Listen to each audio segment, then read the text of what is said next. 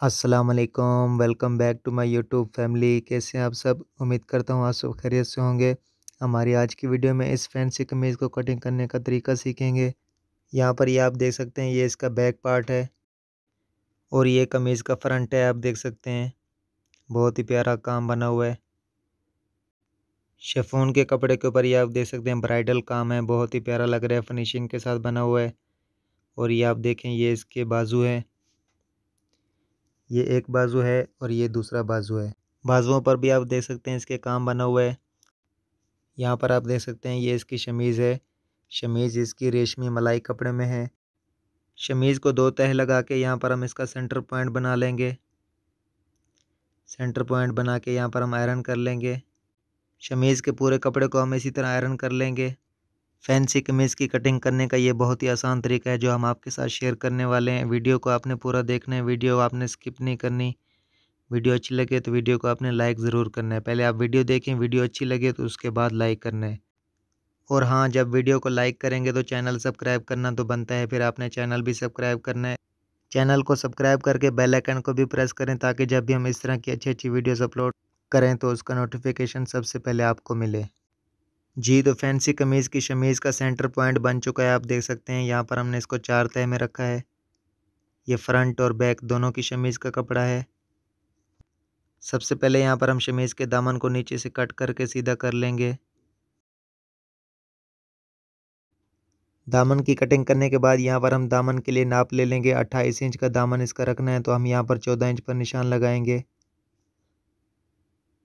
ये चौदह इंच पर निशान लगाने के बाद यहाँ पर हम लंबाई के लिए निशान लगाएँगे।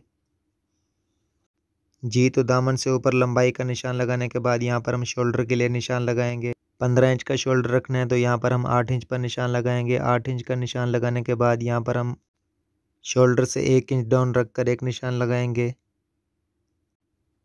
यहाँ पर निशान लगाने के बाद यहाँ पर हम आरमोल के लिए निशान लगाएँगे नौ इंच पर। नौ इंच का आरमोल रख के यहाँ पर हम इंची टेप को नीचे की तरफ़ लेके जाएँगे और तेरह इंच पर हिप के लिए निशान लगाएँगे। हिप का निशान लगाने के बाद यहाँ पर हम साढ़े छः इंच पर निशान लगाएँगे।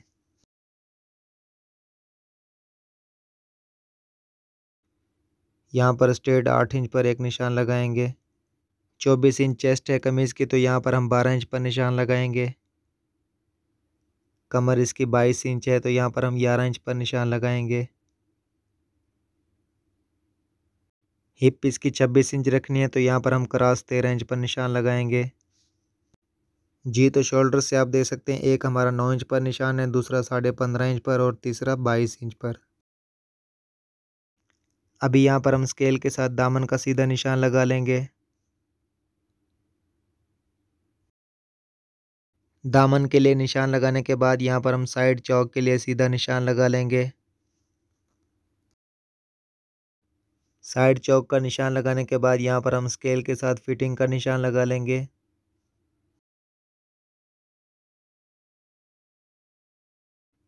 फिटिंग के लिए शेप में निशान लगाने के बाद यहाँ पर हम आरमोल के लिए सीधा निशान लगा लेंगे। स्केल को क्रॉस रखते हुए एक इंच के गैप पर एक और निशान लगा लेंगे। आरमोल का निशान लगाने के बाद यहाँ पर हम शोल्डर के लिए सीधा निशान लगाएँगे। का निशान लगाने के बाद यहाँ पर हम क्रॉस में डाउन रखते हुए निशान लगाएँगे। शोल्डर का निशान लगाने के बाद यहाँ पर हम आर्मोल की गोलाई का निशान लगा लेंगे। जी तो आर्मोल की गोलाई के लिए निशान लगाने के साथ ही हमारे कमीज़ के पूरे निशान लग चुके हैं। अभी हम इसकी कटिंग कर लेंगे।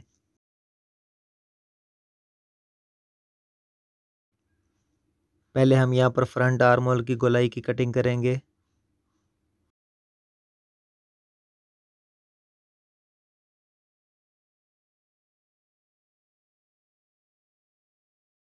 फ्रंट के बाद अभी हम बैक आर्मोल की गोलाई की कटिंग करेंगे। आर्मोल की कटिंग करते ही हम साइड फिटिंग की भी कटिंग करते जाएँगे। अगर आपने अभी तक वीडियो को लाइक नहीं किया तो वीडियो को लाइक करें और हमारे चैनल तैमूर तारक स्टिच को लाजमी सब्सक्राइब करें।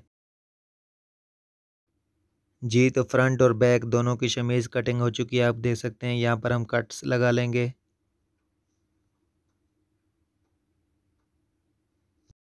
फ्रंट और बैक शमीज़ की कटिंग करने के बाद ये आप देख सकते हैं, ये कमीज़ का फ्रंट है।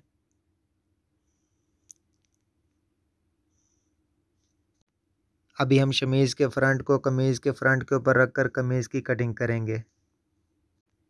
पहले शमीज़ कटिंग करके फिर बाद में कमीज़ कटिंग करने का ये बहुत ही आसान तरीका है, आप भी इस तरह ट्राई कर सकते हैं, आपको इजी लगेगा। यहाँ पर हम फ्रंट का सेंटर कर लेंगे। सेंटर करते हुए काम के साथ काम को मिला लेंगे। इस तरह, अच्छी तरह चेक करके यहाँ पर हम पहले कॉमन पिन लगा लेंगे।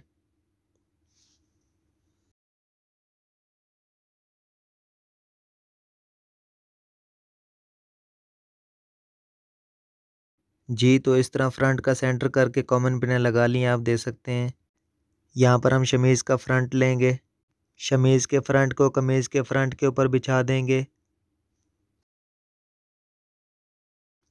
शमीज़ के दामन को कमीज़ के दामन से दो इंच छोटा काटा है, जब इसको फोल्ड करेंगे तो ये टोटल तीन इंच का गैप आ जाएगा। अभी हम कमीज़ के फ्रंट की कटिंग कर लेंगे। जैसा कि आपने फिटिंग में देख लिया है कि यह काफ़ी हैवी साइज़ है तो इसकी साइडों में से कोई कपड़ा नहीं बचने वाला, बिल्कुल ये पूरा पूरा आ जाएगा। ये फैंसी सूट हमारा शेफोन के कपड़े में है तो शेफोन के कपड़े का जो अर्ज़ होता है वो बहुत छोटा होता है।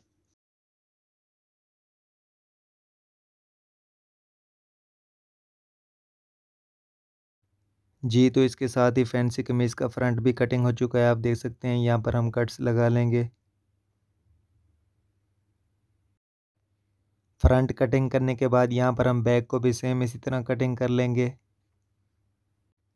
ये आप देख सकते हैं, बैक इसके दामन पे काम बना हुआ है तो यहाँ पर हम बैक को अच्छी तरह यहाँ पर सीधा कर लेंगे कपड़े को, क्योंकि पहले भी इसका अर्ज़ बहुत कम है, आप देख सकते हैं। यहाँ पर हम बैक का सेंटर कर लेंगे।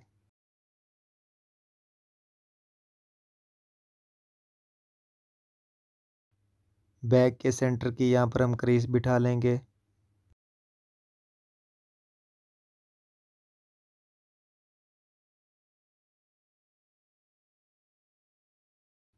करीस बिठाने के बाद यहाँ पर हम शमीज़ के बैग को कमीज़ के बैग के ऊपर रखेंगे।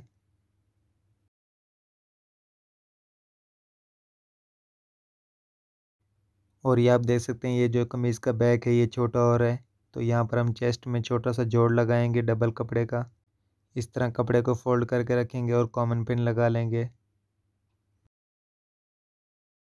जी तो यहाँ पर बैक कमीज़ की लंबाई को चेक कर लेंगे। बैक कमीज़ की लंबाई को फ्रंट कमीज़ की लंबाई के मुताबिक रख कर बैक की कटिंग कर लेंगे।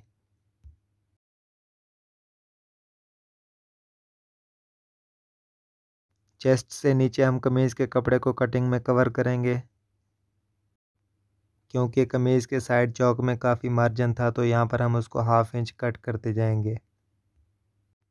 इसके साथ ही बैक कमीज़ की भी कटिंग हो चुकी है, अभी हम बाजू की कटिंग कर लेंगे। यहाँ पर हम बाजू के काम के साथ काम मिलाकर दोनों बाजुओं को अलग कट कर लेंगे। बाजुओं को अलग करने के बाद इनका अलग अलग सेंटर बना लेंगे। सेंटर बनाने के बाद यहाँ पर हम इसको एक दूसरे के ऊपर रखेंगे। बाजू को एक दूसरे के ऊपर रखने के बाद यहाँ पर हम कॉमन पिने लगा लेंगे। बाजुओं को पिनअप करने के बाद यहाँ पर हम शमीज़ के लिए कपड़ा लेंगे और यहाँ पर इसको सीधा कर लेंगे। ये शमीज़ का कपड़ा चार तय में है तो इसको हम यहाँ पर बाजुओं के ऊपर रखेंगे। और अभी हम यहाँ पर बाजुओं की लंबाई का निशान लगा लेंगे। साढ़े उन्नीस इंच के बाजू रखने हैं तो यहाँ पर हम बीस इंच पर निशान लगाएँगे। ये निशान लगाने के साथ ही यहाँ पर हम चार इंच पर एक और निशान लगाएँगे।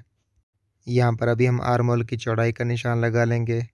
नौ इंच सीधा आर मोल की चौड़ाई का निशान लगाने के बाद यहाँ पर हम बाजुओं को आगे से आठ इंच रख कर निशान लगाएँगे। आठ इंच पर निशान लगाने के बाद यहाँ पर हम सीधा नौ इंच पर एक निशान लगाएँगे। ये बाजू हम बेल बॉटम शेप में कटिंग करने वाले हैं। यहाँ पर हम सात इंच पर रख कर निशान लगाएँगे। जी तो यहाँ पर हम बेल बॉटम शेप का निशान लगा लेंगे।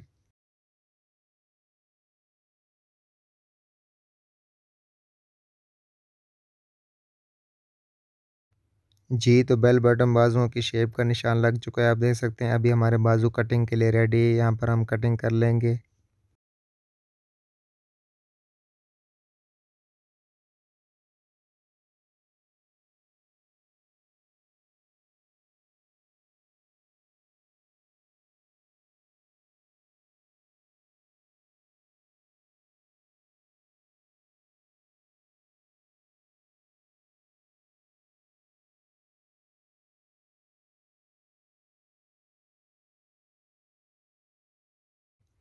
जी तो बाजुओं की कटिंग हो चुकी है, आप देख सकते हैं, यहाँ पर हम बाजुओं की आर्मोल की फ्रंट की गोलाई की कटिंग कर लेंगे। इसके साथ ही बाजू भी कटिंग हो चुके हैं, आप देख सकते हैं। बेल बॉटम शेप में कटिंग हुए हैं बाजू हमारे।